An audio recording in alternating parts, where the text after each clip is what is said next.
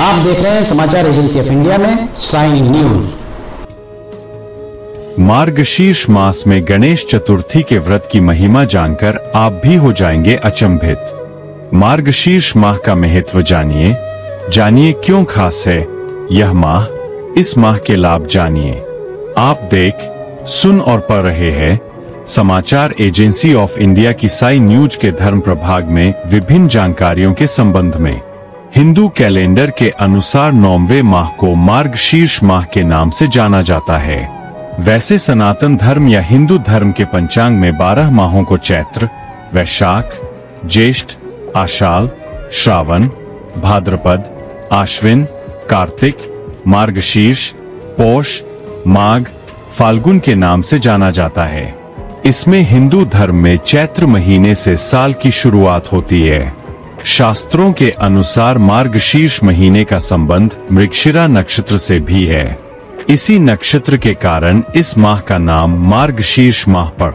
Hindu calendar के अनुसार कार्तिक माह के बाद मार्गशीर्ष माह की शुरुआत होती है, जो नवा महीना माना गया है। पुराणों में इस माह की महिमा का वर्णन मिलता है। अगर आप भगवान विष्णु जी एवं भगवान श्री कृष्ण जी की आराधना करते हैं और अगर आप विष्णु जी एवं भगवान कृष्ण जी के भक्त हैं तो कमेंट बॉक्स में जय विष्णु देवा, जय श्री कृष्ण, हरिओम तत्सत, ओम नमो भगवते वासुदेवाय नमः लिखना भूली। आइए आपको बताते हैं, मार्गशीर्ष माह की कथा, प्राचीन काल में त्रेतायुग में दशरथ नामक एक प्रतापी राजा थे। वे राजा आखेट प्रिय थे। एक बार अनजाने में ही उन्होंने एक श्रवण कुमार नामक ब्राह्मण का आखेट में वध कर दिए। उस ब्राह्मण के अंधे माँ बाप ने राजा को शाप दिया कि जिस प्रकार हम लोग पुत्र शोक में मर रहे हैं, उसी भांति तुम्हारा भी पुत्र शोक में मरण होगा। इससे राजा को बहुत चिंता हुई। उन्होंने पुत्रेष्टि यज्ञ कराए। फलस्वरूप जगदीश्वर ने राम रूप में अवतार लिया। वहीं भगवती लक्ष्मी भी माता जानकी के रूप में अवतरित हुई। पिता की आज्ञा पाकर भगवान राम सीता और लक्ष्मण सहित वन को गए, जहाँ उन्होंने खरदूषण आदि अनेक राक्षस व राक्षसियों का वध किए। इससे क्रोधित होकर रावण ने सीता जी का अपहरण कर लिए। सीता जी की खोज में भगवान राम ने पंचवटी का त्याग कर दिया और ऋषिमुख पर्वत पर पहुंचकर सुग्रीव के साथ मैत्री की। तत्पश्चात सीता जी की खोज में हनुमान जी आदि वानर तत्पर हो। ढूंढते ढूंढते वानरों ने गिद्धराज संपाति को देखा। इन वानरों को देखकर संपाति ने पूछा कि कौन हो? इस वन में कैसे आए हो? तुम्हें किसने भेजा है? यहाँ पर तुम्हारा आना किस प्रकार हुआ है? संपाति की बात सुनकर वानरों ने उत्तर दिया कि भगवान विष्णु के अवतार दशरथ नंदन भगवान श्री राम जी, माता सीता जी और लक्ष्मण जी के साथ दंड कवन में आए हैं। वहाँ पर भगवान श्री राम जी की पत्नी सीता जी का अपहरण कर लिया गया है। हे मित्र, इस बात को हम लोग नहीं जानते कि सीता कहाँ है। उनकी बात सुनकर संपाति ने कहा कि तुम सब रामचंद्र के सेवक होने के नाते हमारे मित्र हो। जानकी माता जी का जिसने हरण किया है, और वह जिस स्थान पर है, वह मुझे मालूम है। सीता जी के लिए मेरा छोटा भाई जटायु अपने प्राण गवा चुका है। यहाँ से थोड़ी ही दूर पर समुद्र है, और समुद्र के उस पार राक्षस नगरी है। वहाँ अशोक के पेड़ के नीचे माता सीता जी बैठी हुई है। रावण द्वारा अपहरित माता सीता जी अभी भी मुझे दिखाई दे रही है। मैं आपसे सत्य कह रहा हूँ कि सभी वानरों में हनुमान जी अत्यंत पराक्रमशाली है। आत उन्हें वहाँ जाना चाहिए। केवल हनुमान जी ही अपने पराक्रम से समुद्र लांद सकते हैं। अन्य कोई भी इस कार्य में समर्थ नहीं है। संपाति की बात सुनकर हनुमान जी ने पूछा कि, हे संपाति, इस विशाल समुद्र को मैं किस प्रकार पार कर सकता हूँ? जब हमारे सब वानर उस पार जाने में असमर्थ है तो मैं ही अकेला कैसे पार जा सकता हूँ? हनुमान जी की बात सुनकर संपाति ने उत्तर दिया कि, हे मित्र, आप संकटनाशक गणेश चतुर्थी का व्रत कीजिए। उस व्रत के प्रभाव से आप समुद्र को क्षण भर में पार कर लेंगे। संपाति के आदेश से संकट चतुर्थी के उत्तम व्रत को हनुमान जी ने किया। हे देवी, इसके प्रभाव से हनुमान जी क्षण भर में समुद्र को लांग गए। इस लोक में इसके सामान सुखदायक कोई दूसरा व्रत नहीं है। वहीं, भगवान श्री कृष्ण जी कहते हैं कि महाराज युधिष्ठर, आप भी इस व्रत को कीजिए। इस व्रत के प्रभाव से आप क्षण भर में अपने शत्रुओं को जीतकर संपूर्ण राज्य के अधिकारी बनेंगे। भगवान कृष्ण का वचन सुनकर युधिष्ठर ने गणेश चतुर्थी का व्रत किया। इस व्रत के प्रभाव से वे अपने शत्रुओं को जीतकर राज्य के अधिकारी बन गए मार्गशीर्ष मास गणेश चतुर्थी व्रत पूजन विधि जानिए। प्रातः काल उठकर नित्य कर्म से निवृत्त हो, शुद्ध होकर स्वच्छ वस्त्र धारण कर ले। श्री गणेश जी का पूजन पंचोपचार, धूप दीप, नैवेद्य, अक्षत, फूल, विधि से करे। इसके बाद हाथ में जल तथा दूरवा लेकर मन ही मन श्री गणेश का ध्यान करते हुए व्रत का संकल्प करे एवं मंत्र का जाप कीजिए। मम सर्व कर्म सिद्धे सिद्धि विनायक पूजन करिष्ये। अब कलश में जल भरकर उसमें थोड़ा गंगा जल मिलाए। कलश में दूरवा, चिल्हर पैसे या सिक्के साबुत हल्दी रखे। उसके बाद लाल कपड़े से कलश का मुख बाँध दे। कलश पर गणेश जी की प्रतिमा स्थापित करे। पूरे दिन श्री गणेश जी के मंत्र का स्तवन करे। संध्या को दोबारा स्नान कर शुद्ध हो जाए। श्री गणेश जी के सामने सभी पूजन सामग्री के साथ बैठ जाए। विधि विधान से गणेश जी का पूजन करे। वस्त्र अर्पित करे। नैवेद्य के रूप में दस लड्डू अर्पित करे। चंद्रमा के उदय होने पर चंद्रमा की पूजा कर अर्घ्य अर्पण करे। उसके बाद गणेश चतुर्थी की कथा अवश्य सुने अथवा सुनाए। जौ, चावल, चीनी, तिल व घी से हवन करे।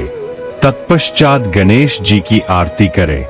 पाँच लड्डू प्रसाद के रूप में बांट दे और शेष पाँच अगले दिन ब्राह्मण को दान में दे। मार्गशीर्ष महीने का महत्व जानिए। मार्गशीर्ष माह को हिंदू शास्त्रों में सर्वाधिक पवित्र महीना माना जाता है। भगवान स्वयं भगवान गीता में कहते हैं कि महीनों में मैं मार्ग शीर्ष हूँ। इसी महीने से सत्यु का आरंभ माना जाता है। कश्यप ऋषि ने भी इसी महीने में कश्मीर की रचना की थी। यह महीना जप, तप और ध्यान के लिए सर्वाइतम माना गया है। इस महीने पवित्र नदियों में स्नान करना विशेष फलदायी होता है।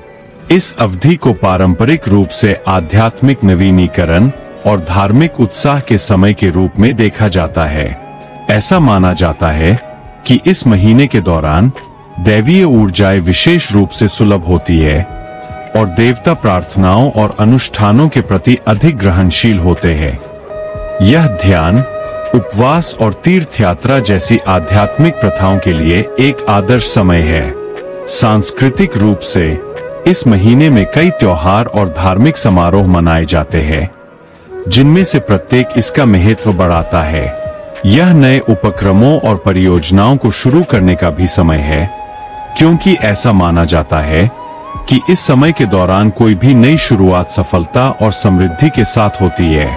यह महीना आत्मचिंतन आंतरिक शांति और भक्ति को प्रोत्साहित करता है, जिससे यह न केवल धार्मिक गतिविधियों के लिए, बल्कि व्यक्तिगत विकास और परिवर्तन के लिए भी एक समय बन जाता है। जानिए क्यों खास है मार्गशीर्ष। सत्युग में देवों ने मार्गशीर्ष की प्रथम तिथि को ही वर्ष प्रारंभ किया। मार्गशीर्ष मास में विष्णु उस हस्त्र नाम भगवत गीता और गजेंद्र मोक्ष का पाठ ज़रूर करें। इस माह में शंख में पवित्र नदी का जल भरें और फिर इसे पूजा स्थान पर रखें। शंख को भगवान के ऊपर से मंत्र जाप करते हुए घुमाएँ। इसके बाद शंख में भरा जल घर की दीवारों पर छिड़के। इससे घर में शुद्धि बढ़ती है। शांति का वास होता है। मार्गशीर्ष की पूर्णिमा को चंद्रमा की पूजा ज़रूर करनी चाहिए। मार्गशीर्ष की पूर्णिमा को ही दत्तात्रेय जयंती मनाई जाती है। मार्गशीर्ष माह के लाभ जानिए।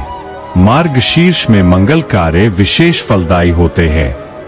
इस महीने में श्री कृष्ण की उपासना और पवित्र नदियों में स्नान विशेष शुभ होता है। इस महीने में संतान से संबंधित वरदान बहुत सरलता से मिलता है।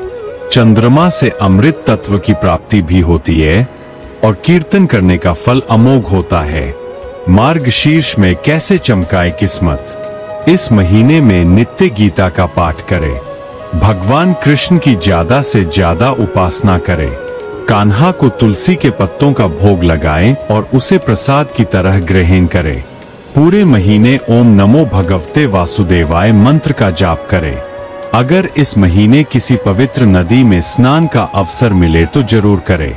अगर आप भगवान विष्णु जी एवं भगवान श्री कृष्ण जी की आराधना करते हैं और अगर आप विष्णु जी एवं भगवान कृष्ण जी के भक्त हैं तो कमेंट बॉक्स में जय विष्णु देवा, जय श्री कृष्ण, हरिओम तत्सत, ओम नमो भगवते वासुदेवाय नमः लिखना भूली। यहाँ बताए गए उपाय, लाभ, सलाह और कथन आदि सिर्फ़ मान्यता और जानकारियों पर आधारित है। यहाँ यह बताना ज़रूरी है कि किसी भी मान्यता या जानकारी की समाचार एजेंसी ऑफ़ इंडिया के द्वारा पुष्टि नहीं की जाती है। यहाँ दी गई जानकारी में निहित जानकारी विभिन्न माध्यमों, ज्योतिषियों, पंचांग, प्रवचनों, मान्यताओं धर्म ग्रंथों दंत कथाओं किम दंतियों आदि से संग्रहित की गई है। आपसे अनुरोध है कि इस वीडियो या आलेख को अंतिम सत्य अथवा दावा न माने एवं अपने विवेक का उपयोग करें। समाचार एजेंसी ऑफ़ इंडिया पूरी तरह से अंधविश्वास के खिलाफ है। किसी भी जानकारी या मान्यता को अमल में लाने से पहले संबंधित विशेषज्ञ से सलाह लें। अगर आपको समाचार एजेंसी ऑफ़ इंडिया में खबरें आदि पसंद आ रही हो तो आप इसे लाइक, शेयर व सब्सक्राइब अवश्य करें। हम नई जानकारी लेकर फिर हाजिर होंगे तब तक के लिए इजाज़त दीजिए। जय हिंद।